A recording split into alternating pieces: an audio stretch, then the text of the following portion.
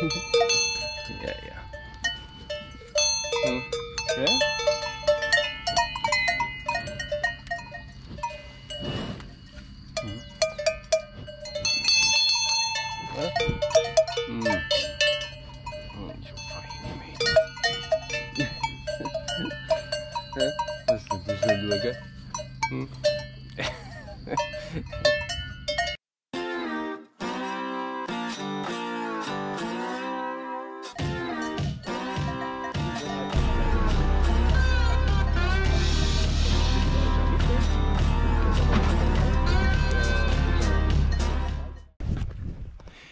Grüßt euch und habe die Ehre zur neuen Woche. Heute ist Mittwoch, der 13. Mai und heute ist schattig kalt. Also schon gestern, ja, total, Montag war es ja noch ganz ordentlich Wetter, schön warm noch, kurz Hose rumgelaufen und dann ja auf der Detsch kalt wie Sau und ein kalter Wind dazu. Ah, Luft, Luft tut es wieder. Äh, ja, und ja, einfach saukalt jetzt. Ähm, aber ich glaube, das ist ja überall so, oder? Ich glaube, ganz Deutschland hat es geheißen, dass es ja halt einfach kalt wird und weh wird und ja. Es ist jetzt so wechselhaft Wetter, einmal regnet es, einmal nicht. Ja, ist halt, gell? Äh, was ich bisher dann habe, war, was habe ich denn am Montag dann? Am Montag war noch, ah gut, da war ich bei der Schumperin, habe geschaut, genau, das einmal. Ähm, was habe ich noch gemacht? Äh, was ich denn noch gehört? Ja, im Berg Oberwari. Das habe ich jetzt auch nicht gefilmt oder gezeigt, ja gut, das da hab. Und zwar ist ja an der Bergfläche ist eine ehemalige Skipiste durchgegangen. Und überall an der Skipiste tut die Liftgesellschaft der Haag machen. Weil die machen den Haag nah und der kommt auch wieder komplett weg, auch Draht weg, alles weg, oder? Weil, ja, ist halt, dass da nichts passiert, wenn da ein Draht am Boden liegt oder sonst irgendwas. Die Piste wird zwar nicht mehr genutzt, aber man hat uns das trotzdem noch, weil so ein paar Einzelne verirren sich da immer noch daran und darum machen sie das noch. Und äh, genau, und die haben jetzt am Montag den Haag gemacht, aber nicht kontrolliert, ob auch überall der Strom drin ist. Weil da ist alles mit so Kunststoffbändel gehagelt und ja, das ist teilweise schon ein bisschen ein Klump. Und also da, da habe ich letztes Jahr ziemlich Ärger gehabt, immer, dass kein Strom mehr drin war. Und nachher, ja, muss halt auch immer nach dem Strom schauen, dann ist der irgendwo eine Litze wieder gebrochen und geht wieder nicht. Und der Amazzirkus hat gesagt, die sollen das bevor, dass die das prüfen. Oder? Wenn das halt, ja, ich kann ja einfach einen Haken machen und wird schon gehen, gell? Nein, das sollen die machen. Und haben sie natürlich nicht gemacht wieder, weil sie wieder irgendein Drum vergessen hat. Drum vergessen haben. Herrschaft, was ist jetzt los? ist ja wurscht. Äh, genau, also da war ich jetzt ich am Montagnachmittag noch und habe das alles, alles abgelaufen, alles geprüft und geschaut und, und ob sie auch recht gehagelt haben, so wie ich das will, weil sie, das tun sie meistens nicht. Aber naja, also das war der Montag. Gestern war, ja gestern war ein bisschen bäh, der Tag, Vormittag war es noch ein bisschen nicht so schön. War in einem Büro ein bisschen den ganzen Vormittag tätig so, und nachmittags habe ich dann meine heutige oder meine Baustelle angefangen. Und zwar ist das etwas, was ich schon seit Jahren umeinander schiebe und eigentlich gar keine Lust habe, das zu machen. Aber jetzt, weil halt jetzt gerade das Wetter so nicht so toll ist, habe ich mir gedacht, fange ich das halt jetzt nochmal an. Und das zeige ich. Ich filme kann da schlecht, weil das ist einfach, da habe ich keine Hände frei, da kann ich nicht filmen. Aber zeigen kann ich es euch. Von jetzt einmal von 100. Und zwar gehen wir da ein bisschen zurück. Das ist da so ein Anbau vom Denner. Da ist ein alter Betonsilo noch drin. Den sieht man durch das Brett da nicht, oder? Ich weiß nicht, sieht man durch? Ja, ist ja wurscht. Ein alter äh, Betonsilo ist den, der wo noch mal genutzt ist. Der ist da so, steht so außerhalb im Eck und das ist irgendwie ein bisschen blöd halt. Aber ja, aber der braucht natürlich trotzdem sein Dach und das ist am Kaputtgang. Da ist, äh, na, so ein darum zeige ich euch von oben. Hier sind das der mittendrin statt nur dabei, oder? Halt, oder? Also, na, gehen wir auch dann auf, auf mein Gerüst. So, weil ich wieder nicht ganz fertig. Alter mal. So, also, so schaut das aus. Das Windsbrett ist kaputt gewesen, oder sagen wir mal so, da war gar keins mehr da. Das ist alles schon abgefallen gewesen. Und natürlich innen drin die Latte ist auch schon eingefallen gewesen. Und also, das war so kurz bevor das alles zusammenkracht. Und das habe ich jetzt gerade neu gemacht. Hinter rein neue Latten gemacht oder halt einfach neue Beilage, dass man einfach genug Ding hat zum das Windbrett anschrauben, oder? Das halt gemacht, genau. Und dann von unten rein, da ein bisschen rumgeripset da, äh, von unten rein auch noch ein Brett gemacht, dass wenn der, St Mei, äh, der Sturm kommt immer von der Seite, bläst da rein, lupft der Zirkel raus. Also habe ich noch unten ein Brett als Sicherung gemacht. Und genau, Jetzt kommt, da kommt noch der Stumper an, dass man da eine doppelte Auflage hat. So. Und dann kommt noch, so, also jetzt nochmal so ein Brett, bloß in breiter, oben dann als Deckel drauf. Oder? Das geht dann aber schon bis so rein ungefähr. Und da oben kommt dann wieder ein Blech drauf. Das habe ich auch noch da. Ja. Aber zuerst muss ich noch die Ziegel dahinter aufwärts fehlen noch ein paar passend zuschneiden, dass, das, dass die Ziegel bis daher gehen. Ja, dass das, und dann sollte das wieder ganz geschmeidig so. Das ist, ja, und das schiebe ich schon seit Jahren eigentlich. Ich weiß es schon seit Dingen, aber ja, wie es halt oft ist. Oder? Genau, das. Und da die Wand ist auch malat, auch kaputt.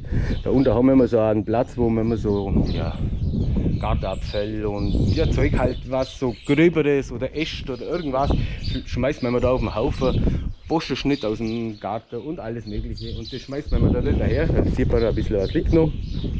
Und da habe ich einmal im Frontlader reingeschoben und habe den ganzen Ding unter mitten reingeschoben, weil das alles schon ja, also faul und Ding ist. Da ist innen ein Balken, wo noch abgefault ist, wo man neu machen muss.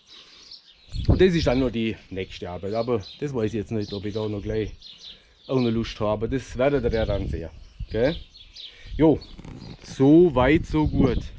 Ich denke, ja, da werde ich jetzt heute schon, heute Nachmittag er wieder Regen und wenn es dann schifft, dann, dann habe ich auch keine Lust zum Rausstand. Nachher werde ich mich wieder neiwärts verziehen, denke ich. Aber jetzt mache ich einmal so lange noch, solange das Wetter noch einigermaßen ist, mache ich das da raus und Dinner habe ich dann was anderes noch. Das da kann ich wieder mitnehmen. Aber jetzt sehen wir einmal. Jetzt mache ich einmal weiter und wenn es noch mal was zum Zeigen gibt, dann zeige ich es euch und nicht. Okay. Den die sagen, machen wir so. Ah, noch was. Äh, ich habe ein neues Intro gemacht, haben das gesehen? Wie findet ihr das? Also ich bin jetzt als als Künstler für sowas, aber es ist schon mal ein bisschen was anderes, als wie immer die nollen Dekor da. Gell? Aber findet ihr mal reinschreiben in den Kommentar, ob es euch gefällt oder nicht oder was oder was besser sein könnte oder wie auch immer oder, oder wenn einer na, das passt schon. Gell? Aber Kinder der was schreiben, ob es gut ist oder nicht. Gell? Also gut. Ich mache jetzt da weiter und wir sehen uns.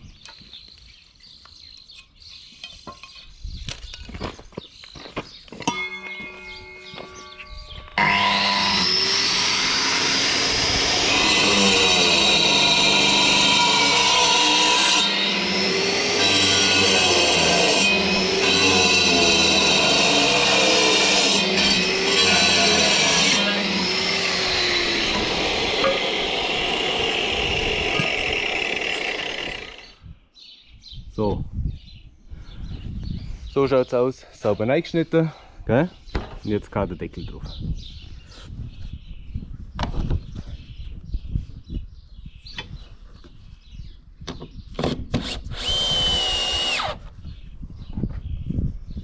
So, ich bin fertig. Ich zeige euch nochmal das Ergebnis jetzt. Und zwar schaut es jetzt so aus. Wieder mit Blech drauf, Deckel und von der Seite. Loch, das mache ich anders mal zu. Ne? Wissen auch. So, und weil ich natürlich jetzt gerade sowieso schon da war und das ganze Werkzeug da gehabt habe, habe ich gleich noch mit was angefangen. Als erstes noch da.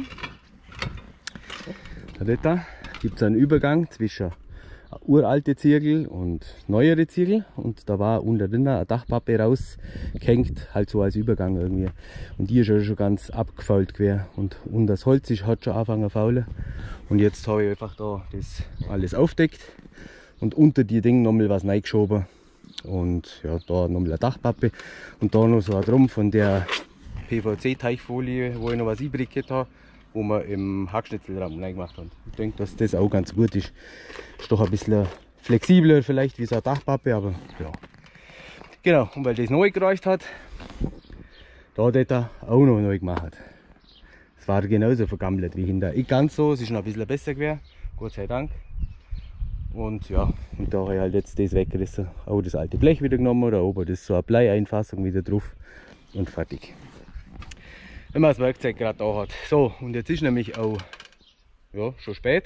Jetzt muss ich nur aufräumen und nachher geht es schon wieder in den Stall. Nachher der die sagen, war es das für heute. Und ja.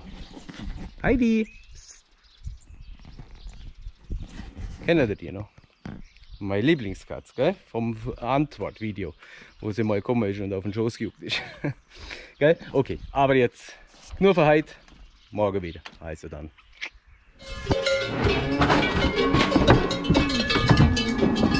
Ooh.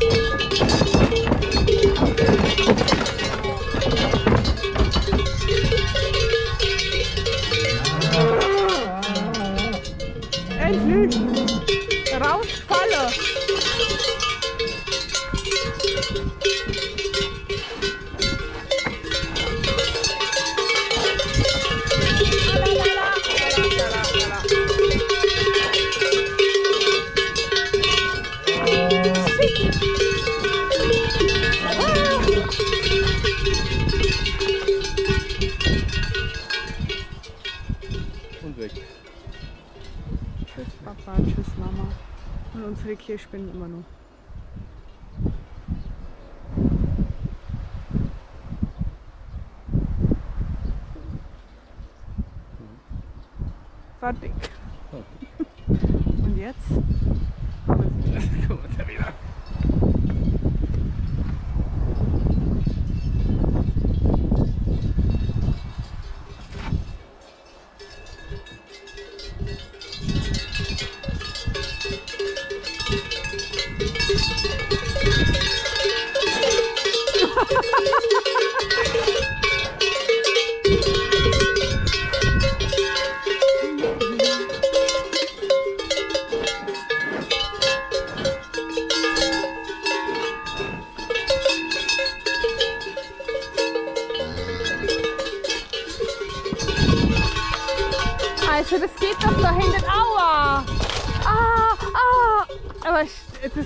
Wir wirklich.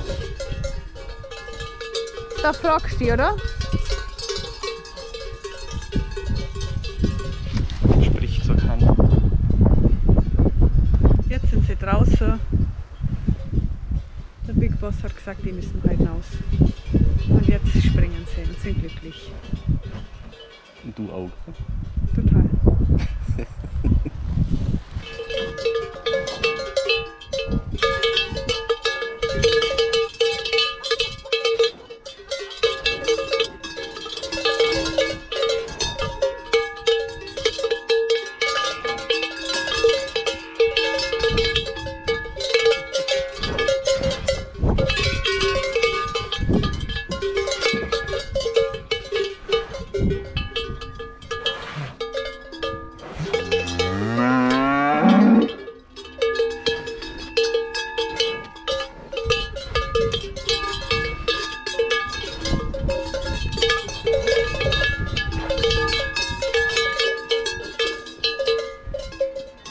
schaut aus. Super. Klasse. Gell?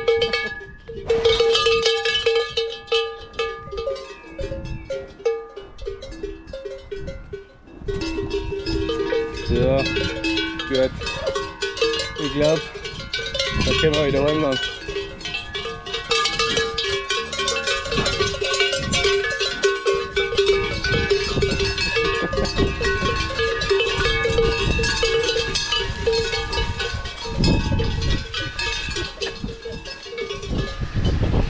So, Schnuckis, gehen wir mal auf die Seite. So, liebe Leute, jetzt sind die letzten auch noch in den Berg reinkommen, wo neben dem Haus ist, wisst ihr ja. Da haben wir noch eine Runde, einen kleinen Brunnen, der wo direkt vom Bach gespeist wird. Habe ich jetzt gerade sauber gemacht, darum läuft da ein bisschen Dreckwasser rein, aber das wird gleich. Und das andere ist ja oben. Ne? Haben wir ja gesehen. So, ich glaube, die sind soweit versprungen und werden hoffentlich jetzt vernünftig sein und dann können wir wieder heimfahren. Okay.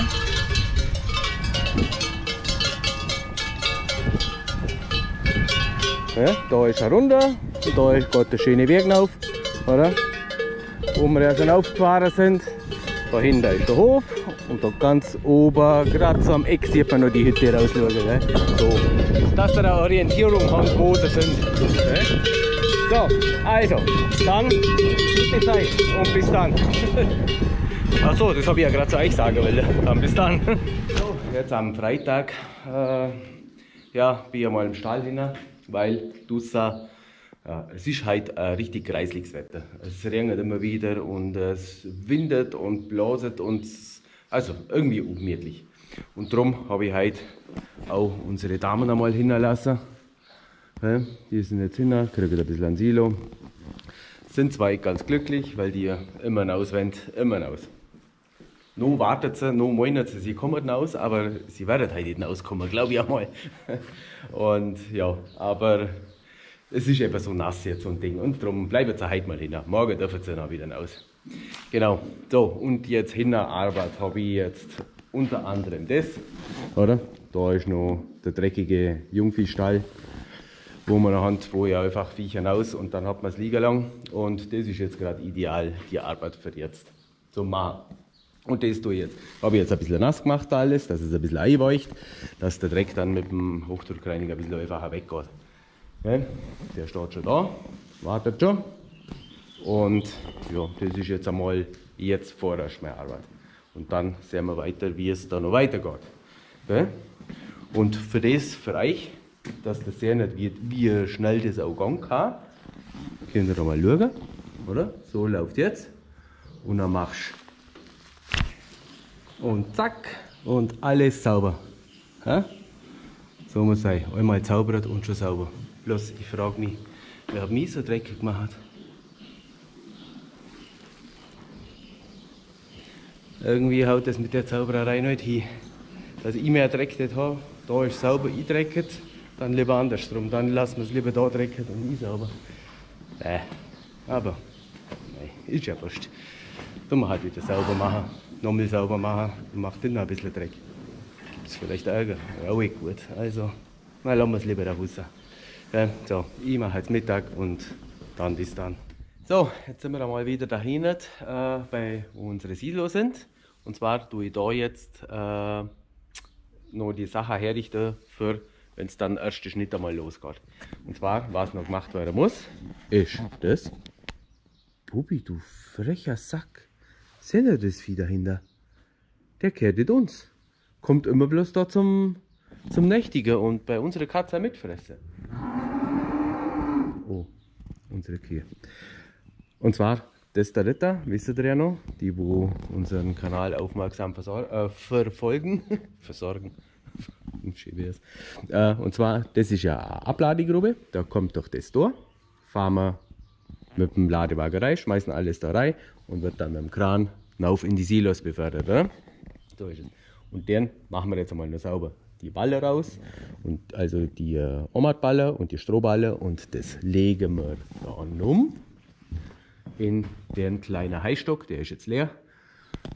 Da war Schumperhai drin, also so minderwertig, nicht so gutes Hai für Jumper. Auch da drin ist jetzt leer, tun wir das dann um. Und da fahre ich jetzt mit dem Kran von da oben und da könnt ihr ein bisschen zuschauen. Machen wir das so. Also, nachher fahren wir mal eine Runde.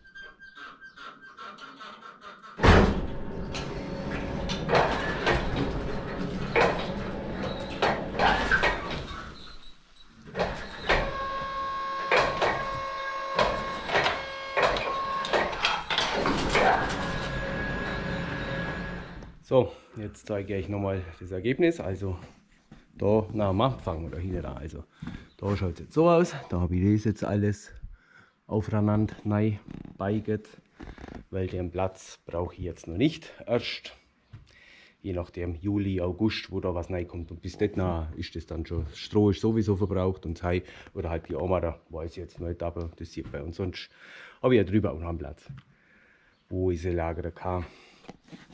Silo habe ich zugemacht, alle. Hier da. Und der da. Mal schauen, wie es ertragmäßig ausschaut, wie viel, wie viel kommt, wie viel neu kommt. Also wenn es wenig gibt, komme ich mit der zwei, mit der zwei großen aus. Wenn es viel gibt, brauche ich der kleine dazu noch, aber das glaube ich, das ist nicht, so viel ist es bei uns jetzt nicht. Gell? Und ja, wollen wir sowieso sehen. Gell? Da Abladegruppe habe ich noch ein bisschen sauber gemacht, das alles ins Eck rein. Das gibt noch Einstreifen, Esel, Lamas und so weiter. Das fahre ich mit dem Kran nachher um. Und weil, gell, so schaut es da hinten nachher aus. Da kommt unsere ganze Silo rein. 250 Kubik haben die jetzt alle drei. Und was da, wenn das voll ist, dann wird der Siloballer gemacht. Gell? Aber da sind wir jetzt noch weit weg. Das geht dann erstmal weiter hinten raus. Gell? Und da sehen wir ja auch die Ablagergruppe, die was nicht wissen, da komme ich da hergefahren und rückwärts da rein. Und von da wird es dann auf verteilt. Gell? Und äh, für die, die es nicht wissen, genau, hinter dem Silo ist auch noch ein Heistock. Auch da, wo jetzt noch ein bisschen Hai drin ist oder Oma da drin sind, wo man jetzt noch ein bisschen rausfuttern. Und ja, okay. so schaut es da hinaus. Kraftfutter kennt ihr, Kops kennt ihr, das Kops in Big Bag drin, genau, wo am dahinter ist dann der Futterautomat. Gell. Aber brauche ich jetzt alles erzählen, ihr wisst das, oder? Aber es soll ja noch ein paar geben, die das noch nicht kennen. Hallo? Jetzt. Und für die ist das. Also, so, ich glaube dahinter ist jetzt soweit alles fertig und nachher zu und für euch bis anders.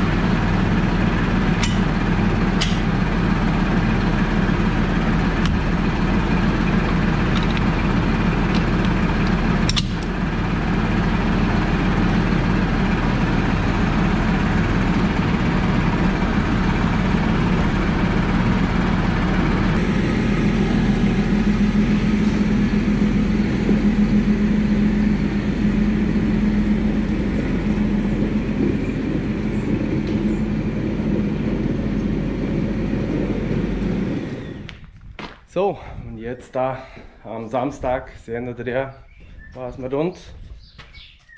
Und zwar alle Maschinen, wo, Hüppler, alle Maschinen, wo jetzt halt nur im Stadel und überall verstaut sind, kommen jetzt raus. Also alle Heuernte-Maschinen, sagen wir mal so. Ähm, kommt alles raus, äh, weil noch ein bisschen, also wie soll ich sagen, Wartung und Pflege habe ich alles gemacht gehabt. Im Herbst noch. Gewaschen, abgeschmiert, nach der Kette, Kette geschmiert und also alles fertig gemacht und eingesprüht. Das habe ich auch gemacht gehabt. Also die sind eigentlich soweit fertig. Bloß jetzt müssen halt alle noch mal geschaut werden. Luft gibt es ab und zu, dass sie Luft verlieren, Luft kontrollieren. Ja, und das ist eigentlich, eigentlich, eigentlich alles, was ich jetzt zum Tun habe noch. Und dann stelle ich sie halt aus und dann kann es dann losgehen. Ja, Luft kontrolliere, ja, was habe ich sonst noch? Am Kreislauf ist auch Luft. Mähwerk, die Messer sind tauscht oder geschliffen. Sind soweit auch fertig, also da fahrt man was noch los. Also jetzt tue ich bloß der kleine Schwader und der Kreisler kann noch Luft prüfen und nachher ist es, dann kann es eigentlich losgehen. Weil der Wetterbericht hat jetzt heute so ein bisschen so einen Übergangstag wieder, so und so, nicht so, nicht gut, nicht schlecht. Gell? Also, wenn man so sehen hat, ja, da ist noch alles wolkig und zu, da ist schon mal wieder blau, da ist auch blau, dahinter ist noch zu. Also, ja, wechselt sich halt ab. Gell? So, mal so, mal so. Gell? Und ja, und jetzt wird so wie es ausschaut, die Woche hat er eigentlich jetzt gutes Wetter und beständiges Wetter. Und dann werden wir auch endlich los loslegen mit erster Schnittsilo mehr. Und zwar meistens da nicht. Ich glaube, das wisst ihr, oder? Da ist die Wiedesee, wo es eigentlich losgeht immer, weil die am weitesten ist und die mähe eigentlich immer als erstes. Aber ja, obwohl jetzt, jetzt kommt ja alles weg. Also so nach und nach. Und das sehen wir ja noch. Ich mähe ja immer so 5, 6 Hektar bloß und dann kommt das Reihe und dann wird wieder gemäht und so.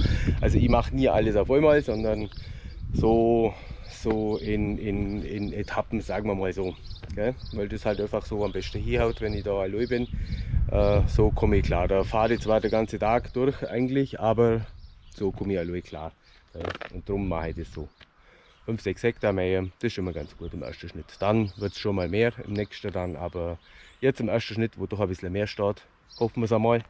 Gell? Da, genau, da machen wir das so. Aber das erzähle ich euch beim Mähen noch. Halt.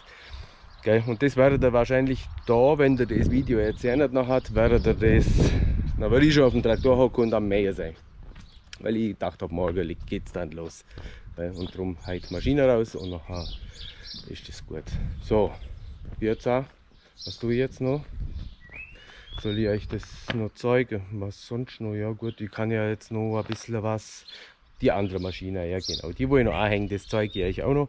Aber trotzdem tue ich mich jetzt auch schon verabschieden von euch und sage wie immer Dankeschön fürs Zuschauen. Ich hoffe, es hat euch gefallen und jetzt hänge ich, jetzt richte ich da noch was und dann hänge ich noch ein bisschen was hinterher, oder? Könnt ihr mal ein bisschen andersrum machen, können wir auch mal machen, oder? Also dann kommt hinterher kommt noch ein bisschen was und nachher, dann würde ich sagen, dann bis zum nächsten Mal, nächste Woche beim ersten Schnittvideo. Gell? Dann, viert euch und habe die Ehre, macht's gut, macht's besser.